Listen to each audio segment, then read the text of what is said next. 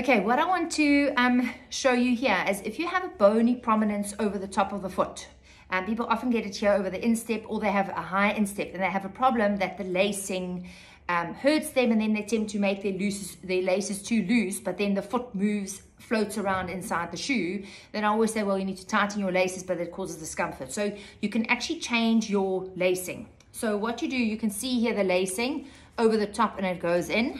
And then if the bony prominence is sort of there, the irritation or here or here above this little loop, you will lace the shoe from the bottom normally. And if there's not a problem with, with like with my other video, then what you do, you just lace the shoe. Normally, if you look at that, there, you take it through that. And then what's important that you put the lace through from the outside in, not from the inside out, how I've done with the others. And then you do here the same from the outside in.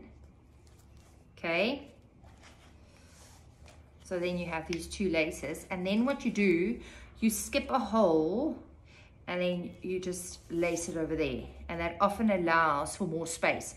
In the shoe, you can see there, there, there, there's not enough holes here. So what I would do in this instance um, if there's not enough holes going up, I would already start, I won't loop it through here.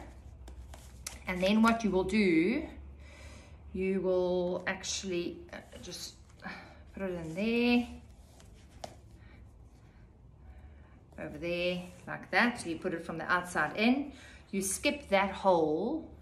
You can see that hole over there. You'll take it out there and you take it out of here. Mm. Uh, no, you know what you do. You need to make sure that there's enough holes here. So you actually just take it underneath. So you're not even going to skip a hole. And instead of skipping a hole, it all depends on the laces. So you need to improvise. But we are agile during a pandemic. So it's quite easy. Just improvise. You can see I'm improvising. I'm not going to redo this video. I'm just improvising.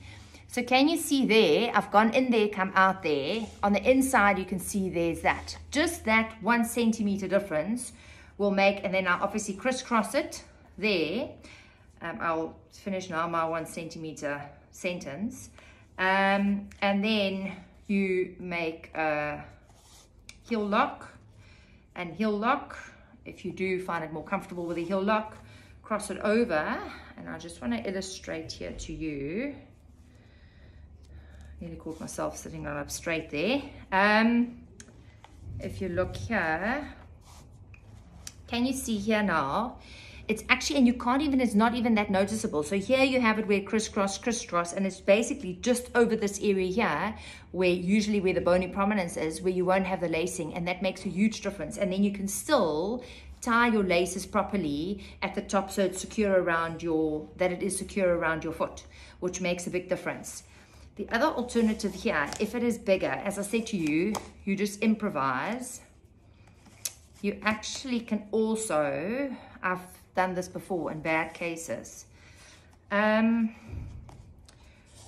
where you do skip this hole, you cross it over like that, turn it into a heel lock and turn it into a heel lock. It all depends on what activity is going to be do, done in these shoes, how much it, and what feels secure around your foot and then you just heel lock it there and heel lock it there. And look now, you've got a shoe with this huge gap there, but it also all depends on the side of the shoe, how many holes it's gonna have, but that is just what you do, where you can change the lacing to accommodate that bony prominence or to just give more space for a very high instep, and then one can go from there.